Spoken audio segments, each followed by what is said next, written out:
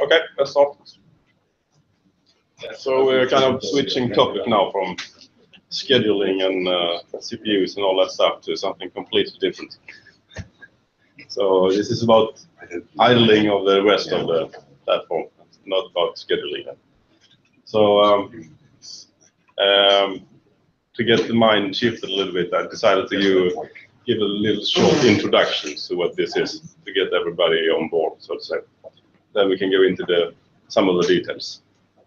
So I'll keep uh, trying to have a um, quite uh, steady pace here in the beginning, but if there's anything that you want to ask, please just interrupt at any point. Okay?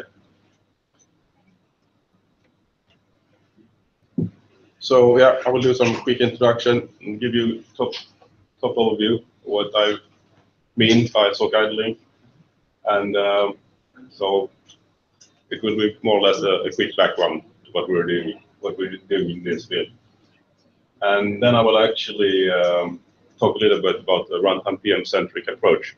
Uh, it's nothing new; it's been there for a while, but it's uh, yeah we can uh, have some discussions about it. It's something that we promote within and our uh, and the members in Linaro. And then we will look into the the CPU cluster uh, power management thing that we've been working on, and uh, we can update on that. See what the, the next challenges is. Okay. So yeah, on an SSE we have lots of different stuff that we want to manage from an idle point of view. And um, it's not just about, uh, yeah, as I said, scheduling. We have uh, lots of devices and resources that we uh, that we can put in a low power state and save uh, save power when they are not in use. So SOC idling is about avoid wasting power when we're idle, more or less. That's the whole point.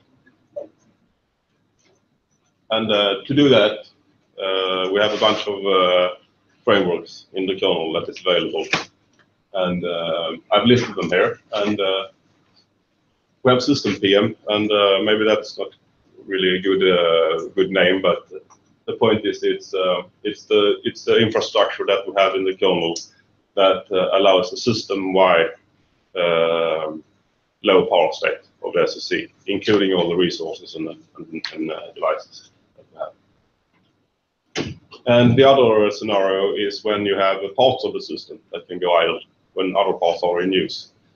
And uh, that is the runtime PM framework that we're using to deal with that. And to, uh, to be able to control devices in, in a, uh, together in groups, uh, we have PM domains. And uh, PM domains can be implemented very uh, differently, of course. And but in some cases there is there is a lot of common things that you want to deal with in, in a PM domain. And that's why we have the generic power domain. So it's a, it's a collection of, uh, of things that, um, yeah, of issues and, uh, and problems that shows up that needs to deal with in, a, within a common framework. So in, in uh, you can kind of uh, describe the topology of, uh, of the SOC, power domains, power rails, and devices. And so you have sub subdomains and master domains and all that kind of stuff can be described in uh, in device tree and, and populated in the, as a generic file. And then the other uh, other um, framework that is interesting from this perspective is the device PM QoS, which is where you can put constraints on, on latency, more or less, of, of uh, yeah, waking up devices. So sometimes you don't want the devices to go into a low power state because it's costly when it wake up and you don't want to have that latency. So then you can put these constraints on the devices, which you do with this uh, framework. And uh, talking about wake-ups, we also have, have a, a, framework or a couple of frameworks for dealing with wake-ups for devices, how you configure this.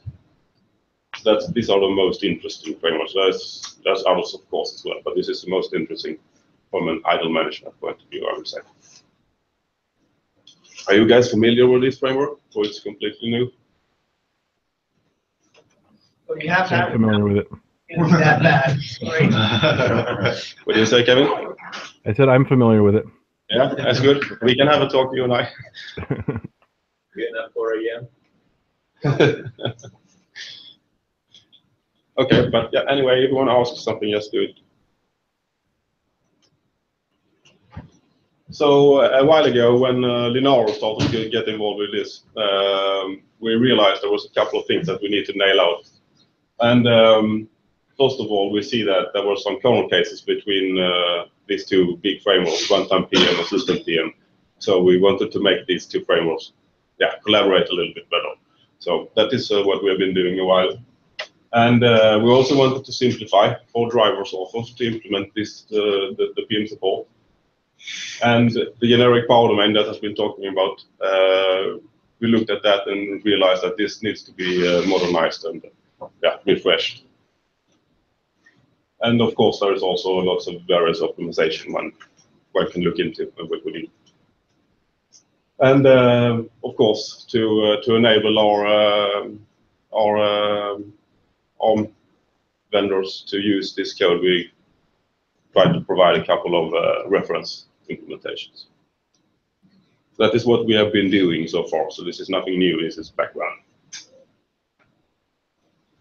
And uh, one of the things that uh, kind of was um, a really important um, thing that we did was that we invented something that we call runtime PM centric approach. Uh, in principle, it's about when you have a, when you have a device and you want to put it into a low power state. Uh, that low power state is often very similar um, in both of these scenarios that I talked about before. So from a runtime PM point of view, from a system suspend point of view, it's often the same kind of power state that you uh, that you are putting the device into. So instead of dealing with these two completely separate, you can um, yeah reuse the code between these. So that's uh, that's that's actually why it's called uh, runtime PM centric because if you do only runtime PM uh, implementation, you can reuse that and get system PM support in your driver for free. That's kind of the the idea behind it. Uh, but it also the whole idea was also to make it simpler for the driver uh, authors to deploy this support. So instead of having lots of code and dealing with lots, of corner, cases. Everything should uh, be, easy to deploy. That's, that's the idea. And we ended up with something like this. This is a very simplified case, but this is a driver. So the driver also have to have to deploy the, the runtime PM support in there. And when that is completed, it doesn't have to care much about the system PM support, except doing this um, setup of callbacks. So the important part here is those uh, runtime PM helper functions, PM runtime force suspend and PM runtime force resume. So those takes care of um, these corner cases when you uh, want to put when you want to make the device to go into a low power state during system suspend. So if the device is already in a low power state, just leave it, just leave it there. And uh, when you wake up, the, when the system wakes up and the device is in a low power state, don't wake it up unless it's really needed. This, this helper functions takes care of that. So everything is uh, quite simple. So this is an easy case, which is actually quite uh, common. Uh, the only thing you should uh, note there is, of course, you might have different um, wake-up configurations uh, of, of the device depending on these different uh, scenarios. In, in, the runtime PM low power state, you might have one one wake up. In the then low power state, you have different wake ups. So you need to deal, deal with that. But still, those helpers can can be used. Maybe not exactly like this, but maybe have um, maybe you have your own set of uh, callbacks and call these helper functions instead. It's it's, it's still doable. So this is actually something that we've been promoting within uh, Linaro for a while, and also in the community of this, course. So we have been seeing uh, uh, quite an uh, increase uses, use, usage of this. Uh, just just to show some some uh, some facts about that. So in in 3.15 we introduced these helpers, and now in 4.11 we have actually 46 deployment of this. So it's a yeah, it's a trend. So I'm glad it was useful. That's um, that's yeah. Uh, so talking about these helpers, I have some uh, I have some ideas that we might want to um, um, change with this. And I guess that's me and Rafael could discuss about this, but uh, we talked about having these device links uh, respected in these helpers. Um, well, we can continue that discussion, see if I, can help out doing the work, of course. But then another thing that's uh, more a bigger, bigger idea that I have. We have this, So the answer to the second one is no, because if it could be done, it could be done this way. No, because of PCI essentially. uh, yes, but in some cases of the ACPI, wouldn't this work? PCI, PCI. PCI bus type. Yeah, but I'm not, I'm not saying that we should uh, convert all. I'm just saying that there, uh, there Yeah, is. well, yeah. okay. It's just an idea to, um, the idea behind it especially to um, uh, take advantage of this dissolve resume feature.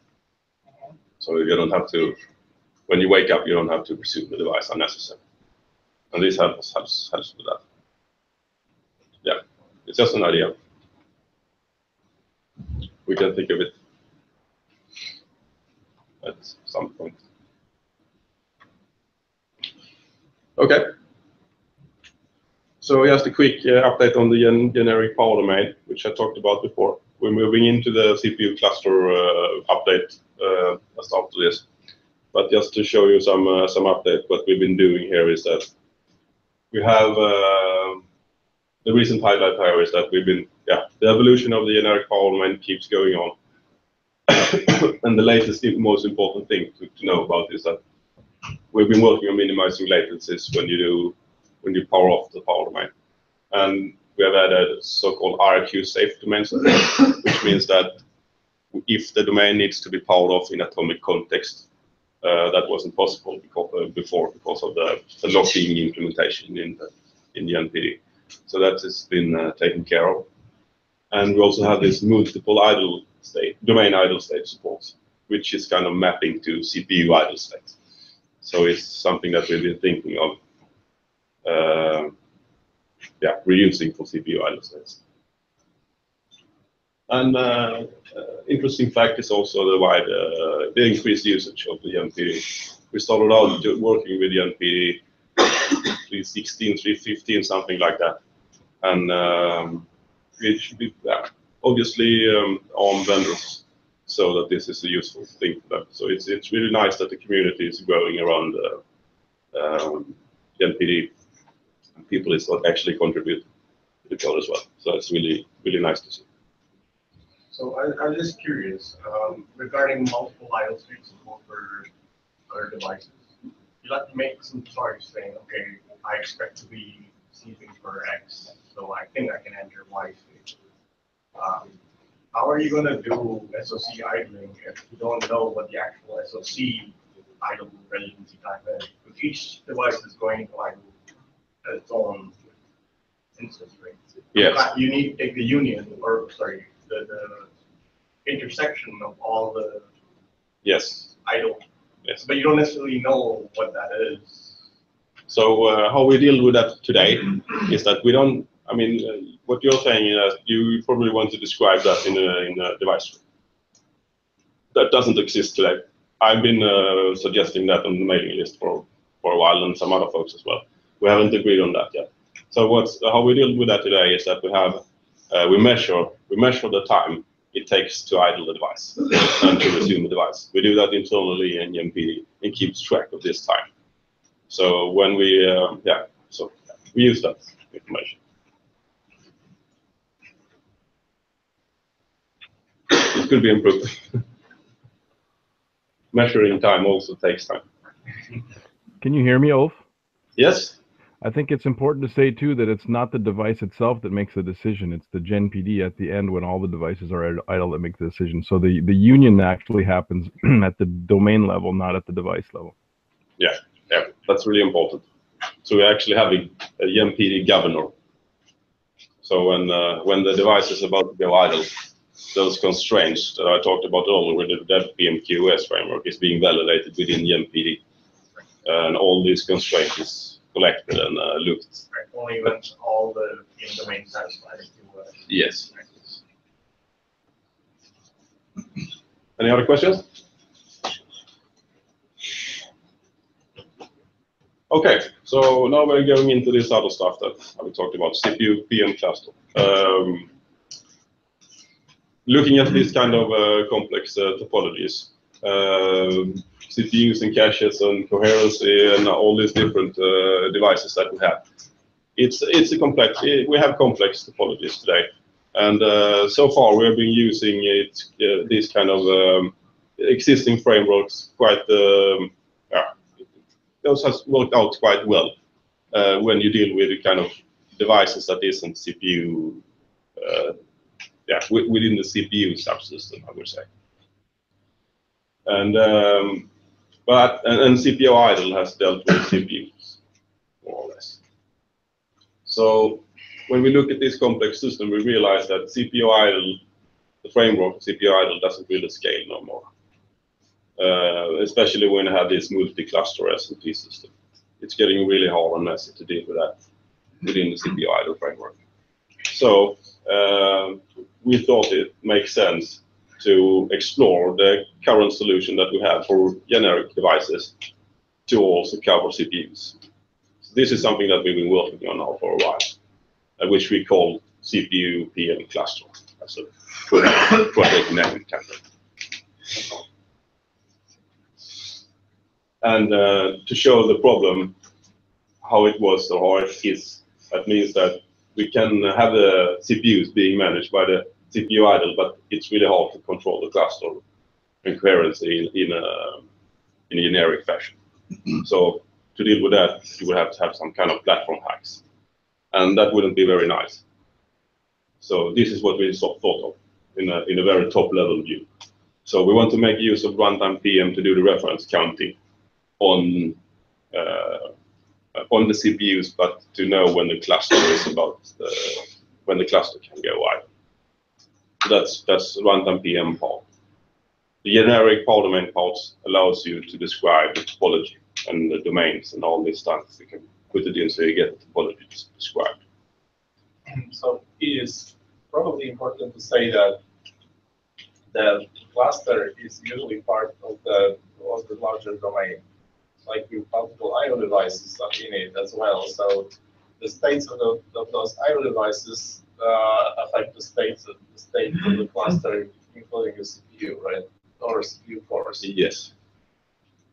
That is why this So uh, that was the information missing from CPU idle, right? Because it doesn't know about the devices at No, all. So, exactly. yeah. so this solves that problem kind of.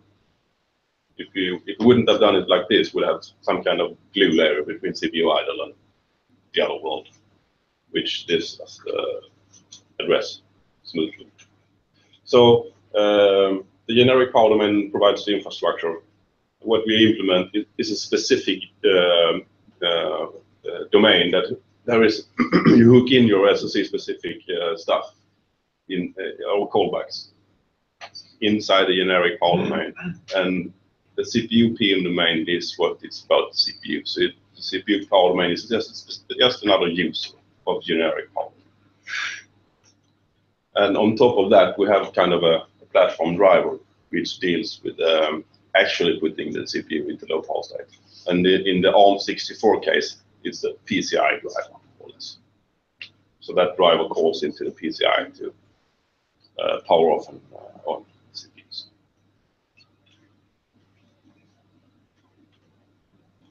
So, so far, um, one can say that the infrastructure that we needed in the generic power domain is launched and completed.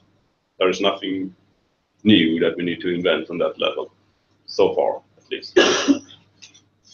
and what is being uh, discussed on the mailing list now is the, um, which is uh, Lina from um, Qualcomm that has posted this, this series, in a, it was a couple of weeks ago. It's the CPU PM main part, which is being discussed and also the deployment of how uh, this, runtime PM reference counting should be done. And the final thing is PSCI changes that is needed because we thought we needed OS initiated mode to support this. There is also some discussions on on OS initiated mode versus platform coordinated mode. So this is where we is, where we are right now.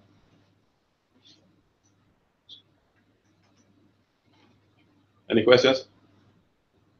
Yeah, so I didn't see a lot of discussion on the patch set from. Uh, I've been, I've been reviewing this part, Yeah, and- yeah. and this part. I see, and I know Kevin has been looking into some of those as well. right. So there will be some. Yeah. Some feedback. I Yeah, yeah, okay. yeah. Yeah, I spoke to Lina yesterday, and she was a little bit busy with uh, with, with like, internal activities. So Mhm. we will probably have to expect uh, it takes a while for her to refresh the patch or something. I don't really know how we're going to address that. Maybe we will help her and do the refresh uh, also. so Lina is Lina is actually a member engineer in Linaro. So she's working for Qualcomm, but when she have time, she works for When she This experience. spare time, yeah. So it's not an optimal uh, setup right now because we can't really tell that you need to prioritize this. The Qualcomm have to decide. So maybe we uh, we yeah we have to address that if it's uh, takes too long. So I had some good discussions with PSCI and OS initiated mode already, and let's continue with that.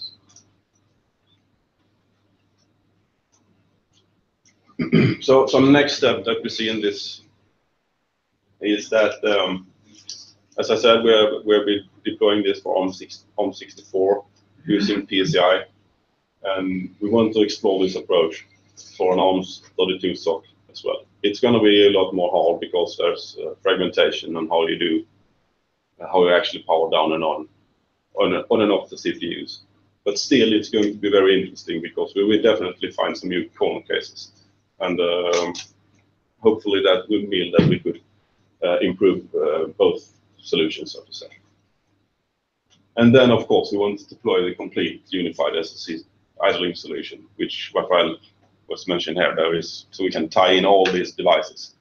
Uh, when there is one device that wants to prevent the cluster from going down, we want to see this complete solution actually working. So that's uh, that's the next step, also. So in the end, we need to pick a reference platform for this, and we have a couple of uh, ARM64 platforms in mind. But there may be others. We haven't really decided on this yet, what, what to pick here. Uh, so other open areas is that uh, the current way the CPU PM domain governor, when it gets notification that, the cluster can go idle, it it wants to know about when it's about to wake up the next time.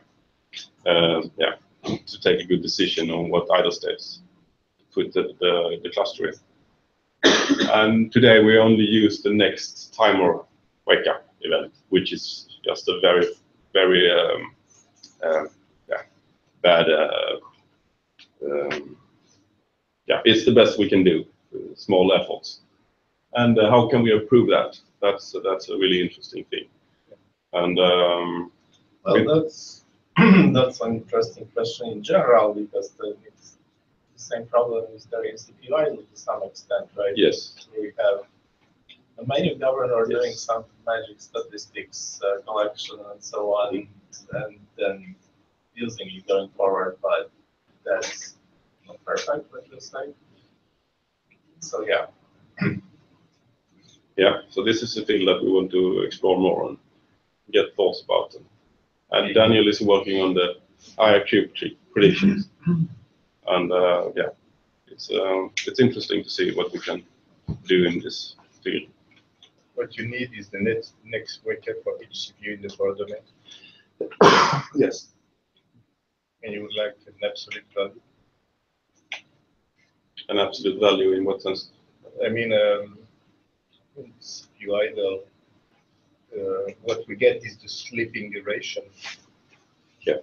Uh, Yeah, so generally there is a latency uh, involved and there is uh, uh, some things that can be referred to as uh, um, the time that So it, it, it may not make sense to put the cluster in a low power state if it's going to be woken up immediately, right? Because the, uh, it will save any energy then. No, yeah, Right, so this is, uh, I, I just, the residents. there there is the name for this, I don't remember. Target residence, target, yeah, the block. No, my Target point is- residency or something like that, Yeah, right? yeah. My point is mainly if, because there is two ways to, to say how long I will sleep. Either I will sleep for one hundred milliseconds or I will wake up at, at that time. Which I was just, So, yeah, yeah, no, no, no, not the absolute time, I mean, in terms of, uh, I don't know, the clock value and Yeah. quality, it, it is about the duration of sleep essentially. So how much time we expect to be sleeping? right now, yes, I agree. But this have an issue that uh, if you want to use that later, you have to know when, from when it's got- it started. If you have an absolute value, you know exactly when we expect the CPU to wake up. Uh, yeah, but then when you make the decision, it's just at the starting point. You make a decision when you go idle. Instantly, you make the decision and you go idle. And then you have to make the decision at this, at this point, like which state to go to, right? So, so you only need to know how much time you are going to be sleeping, essentially. You don't care about the absolute things. Absolute time is idle now plus expected sleep. Okay. It's, it's, I guess it's just a, it doesn't matter as long as the data is valid. Yeah. So this, the, the menu governor stuff reminded me, for performance multiplier stuff in there is completely broken. Uh, it's using zero for the load of the CPU always. Uh, so it tries to make sure that you enter a shallow CPU idle state if there's load on the CPU. The load average. So it's uses- not exactly like that, but we can talk about it. So th- there are issues with the menu governor that people are well, well- well aware of, but it has the same problem as the scheduler load balancing. Essentially, if you touch Yeah. anything in it, somebody will scream. That's it. I think the point is too that we we guess wrong quite often when doing this for CPUs, but it's much more expensive to guess wrong when it's an entire cluster in terms Oh, yeah. of latency. That's a good point, yes.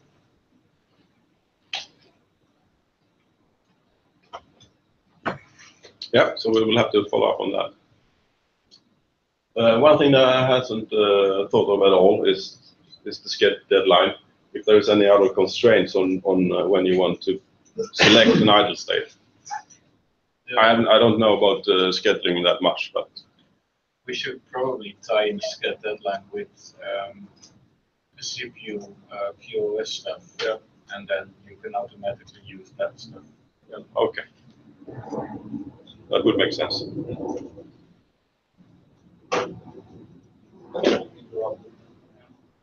We should be able to compute the, the maximum latency Yeah. that allows that set. So actually, you can, now you can, uh, you can add the QoS constraints per CPU. Yeah. Uh, so, Right. yeah, and then it will just take the aggregate. So in, in this um, deployment, a CPU is just a device. So in principle, you should be able to use the dev PQS, shouldn't it?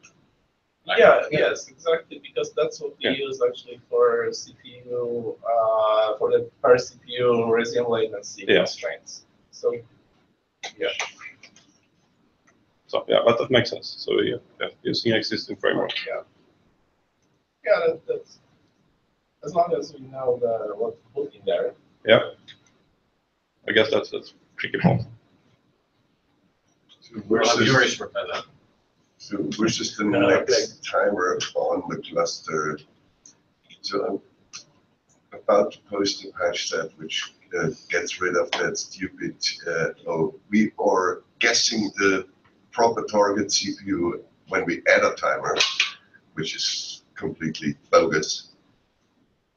Uh, so uh, instead we uh, queue always on the local CPU and then if, if the CPU goes idle, it tells uh, the infrastructure that it's idle and it has a timer which can be expired on any CPU.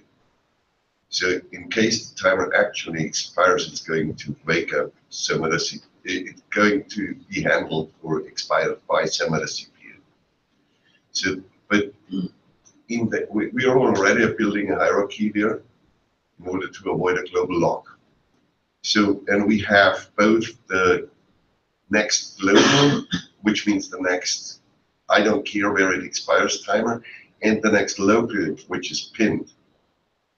We have both informations available there, so we could store it there and you could retrieve it for the, from there for a complete node. Yeah. That makes sense, yeah. Yeah, so Could be just for timers, So yes. you use NUMA nodes now, they need clusters. Yeah, but we can, we can, uh, twiddle the hierarchy building, Yeah.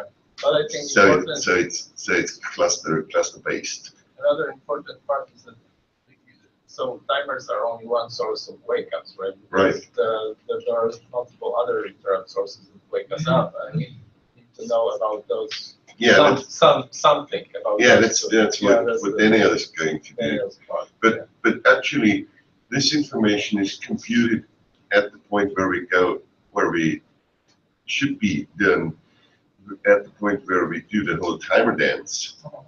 Because if, if we are dealing with the interrupt rate of five hundred microseconds, periodic uh, interrupts coming in on a CPU, and the CPU is idle otherwise, it doesn't make any sense to do the whole uh, timer disarming, rearming thing.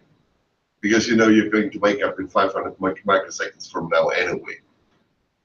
So we can mix that information in into the whole timer. Yeah, so, so timer I was and Okay. thinking about is just treating timers as one of the Yes. interrupt sources in a, in a larger scheme, Yeah. sort of. just for Instead of- timers, we actually know Yeah, yeah, well, precisely yes. when they are going to fire. Yeah, yes, that- but that's, that's, that's an important difference, but it is like we, yeah.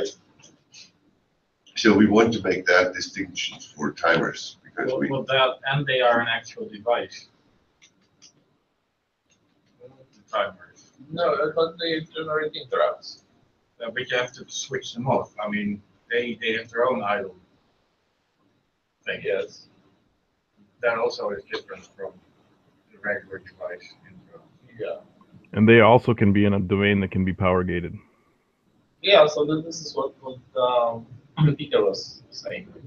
and so they, so there's a there's this callback where you can shut down a, a clock event device where you can do actually power management.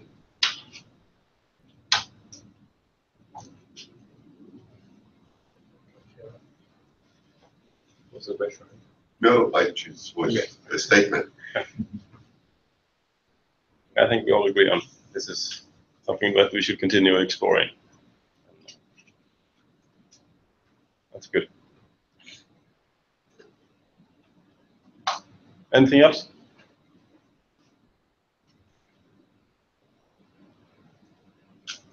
Okay. Um, just just a few few uh, things that um, is not directly related to the CPU cluster thing, but other stuff that could be improved for SoC idling and all, and some some needs that we have that we have seen. Currently, it's only possible to have one PM domain attached per device, and I've discussed a little bit about that with uh, with Rafael. There's apparently a need from NVIDIA and uh, Qualcomm about uh, they have uh, two power rails per um, per device, and we need to deal with that in some way. And we also have this uh, the other thing that's uh, Qualcomm specific. They have a, where they can uh, where, where they can put the the power domain and the the, the rails in different performance state. So depending on the frequency of the the device, it might generate that you want they want to increase the, the performance of the of the power domain. So we Viresh is working for Linaro as well. He's uh, exploring this field and he wants to reuse parts of the infrastructure that that the generic domain provides because it gives you the possibility of uh, yeah deploying the or populating the the topology. So essentially, it- is the same, uh, the same set of data because it, it is based on, uh, on the concept of domains, right? Like, Yes. So we, we have a description of the in GenPD anyway. Yeah, So, yeah, so this is um, sort of natural to, to try to, to at least use that information yeah. in a consistent way. What what I'm uh, reluctant here is about the the whole um, the whole thing with SoC idling is about uh, idling. Oh, yes, it is yeah. So so this is something that is different, but somehow it makes sense anyway to reuse these infrastructures. So yeah, I'm reviewing US code and see what it uh, if it makes sense and doesn't look that um, controversial actually, at least to me. And there is another thing that uh, we uh, we found out as well is there um, um, there's no way for or maybe there is a way, but I haven't figured it out yet. But uh, currently, genpd has a I would say a, not not so modern way of dealing with wake-ups, and we need to modernize that code to allow uh, more or less subsystem and device drivers to inform the United Power Man of yeah, dealing with different scenarios for wake-ups. So that's a couple of things that I've been looking at. Otherwise, that's that's what I have. Okay, thanks for your time. You later again, Kevin. Okay, thank you.